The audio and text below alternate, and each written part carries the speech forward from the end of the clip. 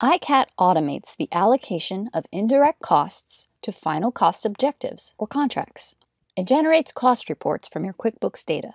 In this video, you'll learn how to use ICAT's Rate Model Editor to define your cost pools and allocation bases for indirect cost allocation consistent with your indirect cost allocation policy.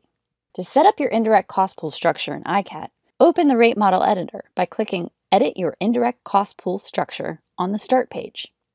The Rate Model Editor is organized into three sections. Under the Accounts heading, ICAT displays the chart of accounts from QuickBooks, so accounts can be mapped into the cost pools and allocation bases. In the Allocations section, you will see the allocation base elements from upstream cost pools. This section will be blank until the allocation base components of upstream cost pools are configured. In this example, we have already set up our fringe cost pool, so the Overhead tab shows allocation-based components from fringe benefits. These can be mapped into cost pools as intermediate allocations and into downstream cost pools.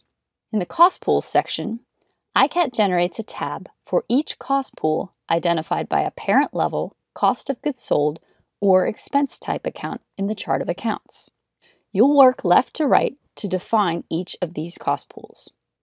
First, identify the cost pool type from the drop-down menu for each cost pool.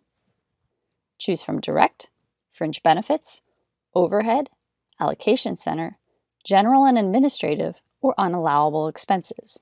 Each cost pool includes a field to enter a short name, which will appear on ICAT reports. This field is optional. Our first tab is for the Direct Cost Pool. Select Direct for the pool type. No additional setup is needed for this cost pool. In the next video, we show you how to set up an allocation center.